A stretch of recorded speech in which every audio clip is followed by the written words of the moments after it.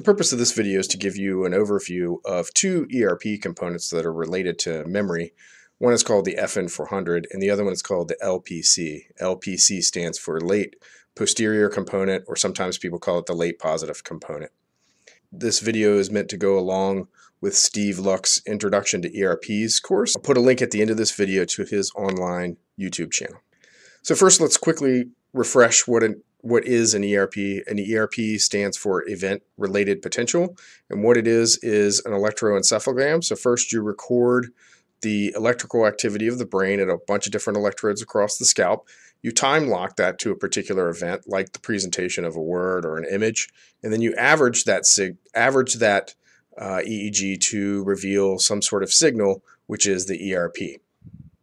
So here's an example of some EEG here, recorded at different electrodes, and of course you have voltage is the y-axis and time is the x-axis. So plotting ERPs, often we record from many electrodes, and papers will often only show one or selected electrodes. Like for example here, this is the P3 electrode, so you can see the activity at the P3 electrode. And what you're seeing here again is time on the x-axis, and you're seeing voltage on the y-axis prototypically memory researchers plot positive up, but you have to look at the axis because some people are going to plot negative up. And these are the ERP signals for different items. So in this case, a hit is an old item called old, and also the source was remembered. In this case, the source was whether an item was from one particular list or another. And a confusion is when they remembered that it was old, but they misattributed it to a different list. And of course, a new item is an unstudied item.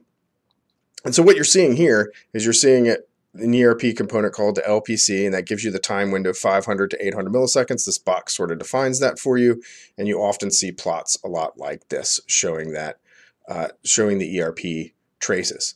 We'll also want to look at how this particular component was distributed across the scalp. So what we do is we take some subtractions, like we could take the hits and subtract out the new items and create a difference map like down here. And this difference map shows you the amplitude placement over the scalp. So the nose is up, you have left on left, right on right, and you can see that the redder colors mean that there's more positivity at particular electrodes. These ERPs have been connected to recognition memory, so we have to define what recognition memory is. So recognition is when you see information, item, in your environment or in the laboratory, we could expose you to a list of information. And then you have to determine whether you've seen that before, whether it's old, previously encountered, or new. That is, it's unstudied. So in the real world, it might be like walking around and seeing a familiar face and identifying that person. In the laboratory, it might be seeing a word or a picture that you studied earlier in the study phase. So there's some definitions here. We could have, that's the recognition test sets up four item response combinations. So you can have an old item when you call it old, we call that a hit. And generally the language is stilted towards identifying old items. So we would call that a hit. If you have an old item, but you call it new, well, that would be a miss. A new item called old, that's known as a false alarm. And a new item called new is a correct rejection because you're rejecting it as old. You'll see some of these definitions come up in this video and in the labels in the ERP traces. Now recognition can be supported by familiarity, recollection, or a mix of both of these processes. So familiarity is a sense of oldness in the absence of remembering any specific details. So to keep with the example of identifying a person, everybody's had the experience where you see somebody's face and they look familiar, but you don't remember anything about them. You don't remember their name. You don't even know where you know them from. They just look familiar. If you've ever had that experience, you've had that sense of familiarity about it. Now, recognition can be supported by familiarity, where you just sort of know it's old. On the other hand, you could recollect individual details. So you might remember the person's name. Maybe that's all you remember. You might remember the name, where you know them from, other personal details about that person. You might remember specific details about them. In the laboratory, we usually ask for some aspect of the study context to be reported in order to identify that the items were recollected. Now, encoding uh, can create memories of different strengths. So, encoding just refers to the processes that you are doing when you first encounter the information. So, a lot of times we assign tasks in the laboratory um, when people are studying words or studying a series of pictures or whatever it is that they're looking at. So, a shallow encoding task, you might be asked the question is the word printed in capital letters? And in this case, that question focuses people to examine the physical characteristics of the word. This creates a very weak memory. They're not thinking about the meaning of the word or relating the information to themselves. And so, because these memories are weak, you're much more likely, on average, to have familiarity based recognition if you've encoded the items shallowly. On the other hand, if you've encoded the items deeply, so for example, we could ask people, does the word refer to an animate or inanimate object? And to make this determination, you have to think about the meaning of the word. And this creates a very strong memory, and it's much more likely to promote recollection based recognition. So, one way we can try to dissociate these two processes is through encoding.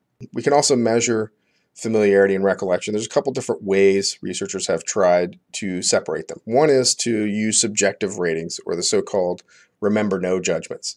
So, remember or R judgments, uh, you ask people to make these judgments when they remember a specific detail about the encoding experience or the study experience. So, for example, if they remember hearing the word in a male voice, that would be an item or detail that they remembered, and they could give it an R response, signaling that they've recollected something about the original experience. On the other hand, if they just know that it was old, if they just have that sense of familiarity when they just know it's old, they would give it a K response. Uh, in this case, they don't have any specific recollection of encountering the information, but they know it's just old, so they would give it a K. So R judgments map onto recollection, K judgments map onto familiarity. Another way to do this is a more objective way, and that is to have people report directly on the source of the information. So to do this, you would have to have two sources of information, like two different lists. One list that is presented in a male voice, one list that is presented in a female voice, for example. And then not only are people reporting whether or not the item is old, but they're also reporting, uh, in this case, who said it. Was it the male voice or the female voice?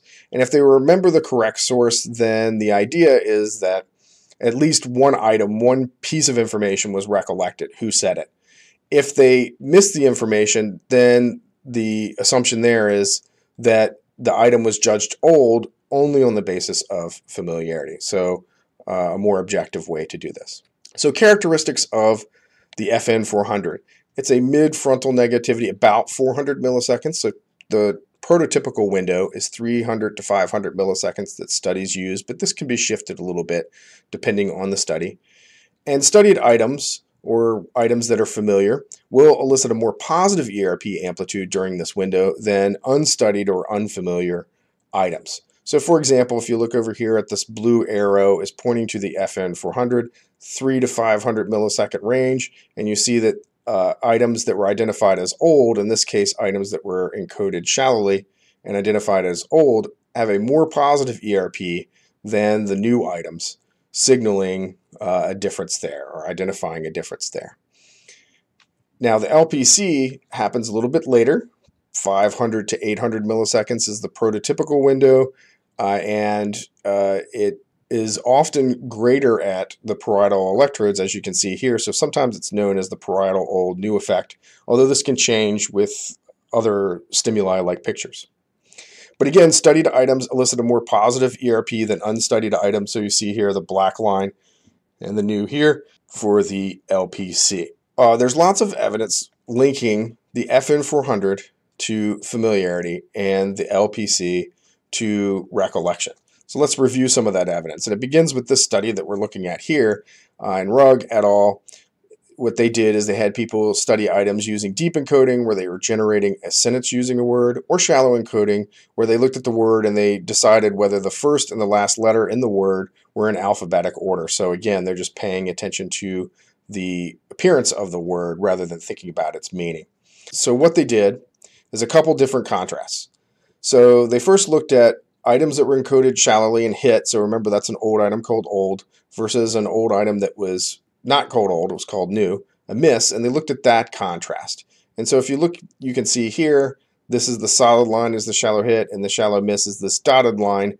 Uh, there appears to be a difference there. And if you do the subtraction and look at the difference map, you see that you get this mid-frontal, more positive, old versus an old item that was called new.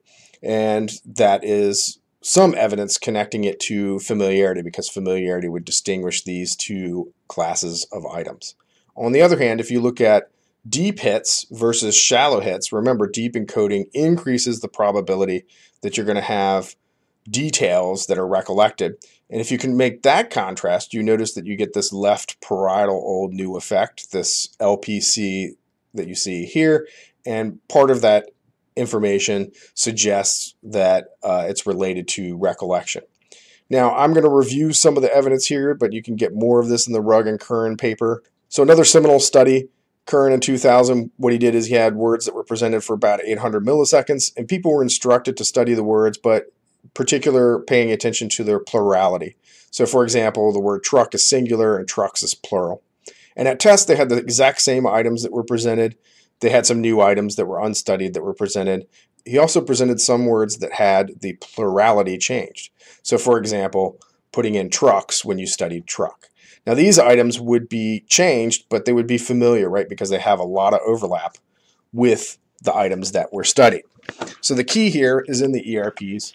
In the FN400 window that you can see here, this graph is a little hard to see, but the studied yes and the similar items are right together in terms of their ERP amplitude, both of which are more positive than the new, so they both elicited that FN 400. However, when you look at the LPC, the studied items are more positive than both the similar and the new. They're down here. So just the studied items elicited the LPC. So studies like this that are showing a dissociation between the FN400 and the LPC in items that should be similar in familiarity but differ in recollection. Another example is using RK judgments. So if you remember, you can use you can have people separate their experiences R for recollection, K for familiarity. And this is uh, data from Curran's 2004 paper, and what you see is R ERPs and K ERPs are more positive than new in the FN400 window, but in the LPC window, are or more positive than both K and U. Again, very similar kinds of data that we just saw before. Now, Woodruff et al., what they did is they did RK judgments as well to separate familiar and recollected items, but they also looked at confidence.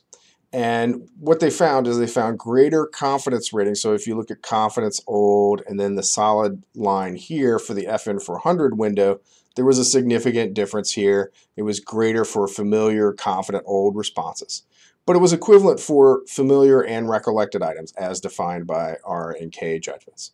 Now, when you looked, so suggesting the FN400 was influenced by confidence.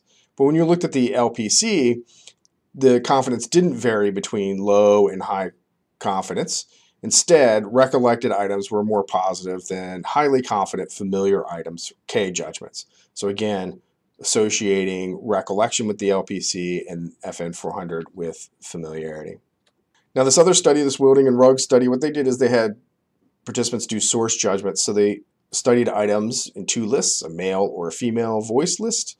And what they had people do is report on the source of the information, and they looked at ERPs for um, items that were remembered. So the first hit here refers to whether or not they judged it old, and it was old.